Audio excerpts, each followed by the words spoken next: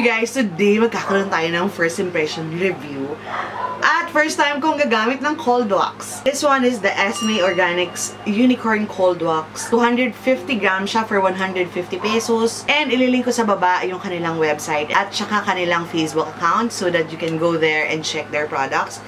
Ito yung binili ko, yung unicorn, kasi mahilig ako sa unicorn. Actually, pinost ko na to sa Instagram, so if you want to check out, check nyo ako sa Instagram. This is the first time ever, ever na magta-try ako ng cold wax, you guys, as in.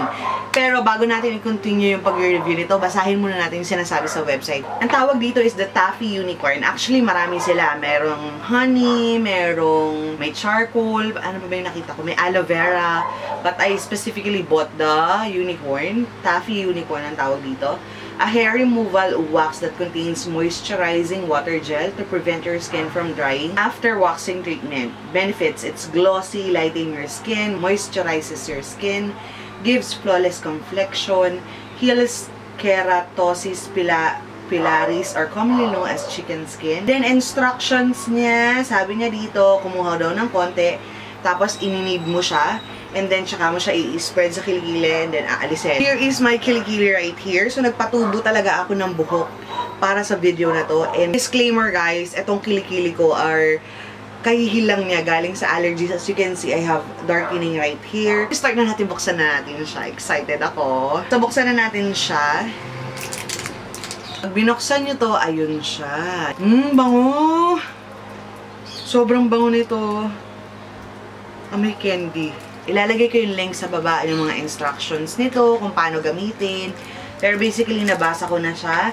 If you want to, if you just want to check it out, ilalagay ko sa baba kung paano siya gamitin. So, kukuha muna tayo ng onte.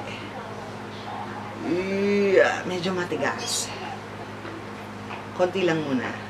Ang cute na, super. Ayan, kumuha ko ng konti. Ang bango pa. Tapos, ininid daw natin siya. Just to make it a bit more tacky. Specialize ko tong kneading kasi ginagawa ko to sa fondant. May specialize silang baby powder eh. So, ang gagamitin ko na lang itong aking Baby Johnson's powder. So, spread daw natin to dun sa opposite ng hair growth nyo. So, ang hair growth ko is pa ganito. So, ang spread ko sa kanya, tama ba? Paano to? Tama ba yung ginagawa ko? Wait lang. Ouch. What? Paano? Daphne! Paano ko to i-spread kung ninid ko na? Ganyan? Paano? Spread the sugar sugaring across the wax area in the direction your hair grow. Pull off quickly in the opposite direction. Spread natin.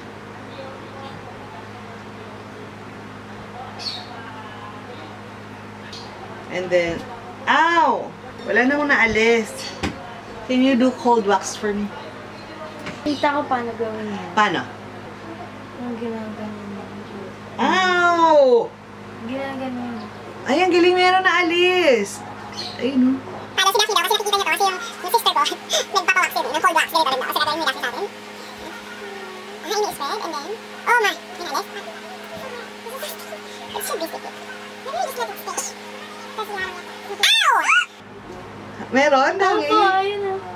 Oo nga, ang galing meron. Para ka lang nagbubulot dito, pero marami. O, game, game. Ganito daw, guys, kasi siya marunong. Pataas, ang spread, kasi pababa yung buhok ko. Ow! Konti. Pero may naalis siya, eh, kasi go.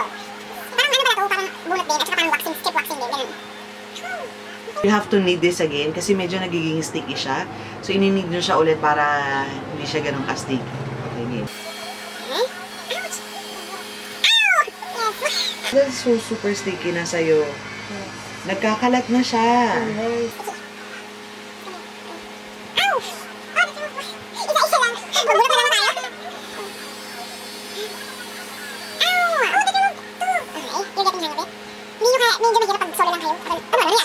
Super, ano to, sticky. Para siyang slime. Slime. Pero yung slime hindi dumidikit sa'yo.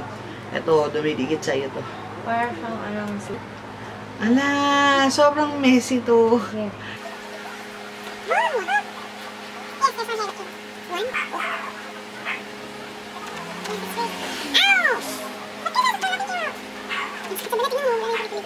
This is Yeah, absolutely na. not, ano, user-friendly. User friendly. Ow! Oh, nag-remove. Oh, there's a lot. Medyo cold yung, ano cold yung area niyo. Unlike ours na mainit kasi may lighting dito, may ilaw pa ng okay dito sa taas. Ow! Ow! Ow! Oh, remove two? Ow! And four, remove mo. Alam niyo guys, effective naman siya. Ang problema. But, ah! So messy, Pipi. as in. So, dapat medyo mas malamig kayong area compare yung area ko ngayon kasi medyo mainit. Pero in all fairness, nakakaalis siya ng buhok. Okay, As it's okay. dami na nakulong naalis ng buhok. I-wrap up ko na tong video na to. Cold wax is very effective, you guys. Ma nakakaalis talaga siya ng buhok. However, sa mess na ginagawa niya, as you can see right here, yung kamay ng anak ko. And also, my hands, marami na yung sticky na siya. Ayan o, mayroong mga mahirap na tanggalin na um, products sa kamay ko. So, I suggest this. Uh, ang hirap niya rin gawin mag-isa. So, nahirapan ako gawin siya mag-isa. Kasi, so, nahirapan ako gawin. So, I have to call out Daph- Daphne. So, dapat dalawa kayo. Lalo na kung magkakaroon ka ng ganitong kamay. Ang hirap ng milos. Ang hirap na. Sabi dito kasi dapat 37 degrees Celsius siya. So, medyo malamig yun. Ngayon kasi, I think it's around 40, 39 degrees. So, medyo mainit siya, you guys. So, I don't think this is recommended for um, mainit na lugar, katulad dito kwarto ko kasi mainit na may lighting ako dito, may lighting ako sa gilid. Though, it's so effective, I suggest you guys na mag-gloves kayo. Dapat, medyo malamig yung area na pagko-cold waxan nyo. Unlike etong nangyari sa amin na mainit, nag-meltdown yung sugar, uh, sugar wax.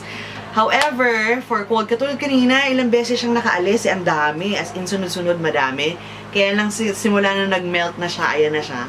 So, it's so messy for me personally. If I would suggest it, yes, for those people na lagi naka-aircon sa aircon kayo, mag-wax, mag-cold wax, wag sa initan kasi talagang magme-meltdown siya. And also, mas the best siya kung may ibang taong gagawa sa'yo kasi kailangan mabilis sa kanya. And nakita nyo kanina, nahirapan ako i-spread siya kasi masyado siyang, ano, tag dito, uh, put together na ngayon, nasobrahan naman siya sa melt, na nagme-melt na, I mean, nagkakalat na sa kamay. So, yun naging problema. So, I suggest na ibang taong gumawa nito sa inyo, kasi mahihirapan kayo pag kayo lang mag-isa, tapos sticky ang ganyan, tapos yung kilikili nyo, sweaty din, so mahirap i-maneuver. So, I suggest ibang taong gumawa sa inyo. Solo lang kayo, might as well mag-wax strip na lang kayo. Yung mga effective na wax strip compared to this one, kasi this tends to be so messy as in, na, nakaka-annoying tingnan at nakakadiring pakiramdam you guys. Parang, alam niyo pag gumawa ka ng candy na nagme-melt na sa kamay niyo, ganun yung pakiramdam, di ba? yung Ayoko rin ng feeling na yun. I don't like it. Pero, siguro itatry ko pa siya on air-conditioned area like sa brother ko, ay sa sister ko, si Bia, sa kanya. Kasi yung kwarto niya aircon, not here kasi sobrang init dito. So, kaya yun lang, yung hassle ng paggamit sa kanya na kailangan air-condition ka pa, kailangan, um, uh, oo, kailangan malamig yung area mo, kailangan ibang tao pa. So, ako, mag-wax strip na lang ako to, ano mo yun, consolidate or i-condense yung oras na gagamitin ko sa pag-wax. Nga, i-take consideration nyo na lang yung mga sinabi ko sa inyo kanina. Kung gusto nyo talaga siyang gamitin, and yeah. Yeah, you guys, that's it for this video. Hope you guys enjoy watching it. If you did, please do give me a big thumbs up. And kung may mga suggestion pa kayo on what to see next or what to see, yeah, what to see next in our video, comment lang kayo sa ating comment bars. And also, if you want to check my latest video, eto yan. So, go ahead and click that. Want to subscribe at nakalimutan nyo kanina, click nyo yung pagmumukha ko dyan. All my social media handlers, so yung aking Facebook, Instagram, are in here. I would like to say hi to Daisy Peñalba. Hello, thank you for watching. See you guys soon. Don't forget to be happy all the time and have a great day. Bye, you guys!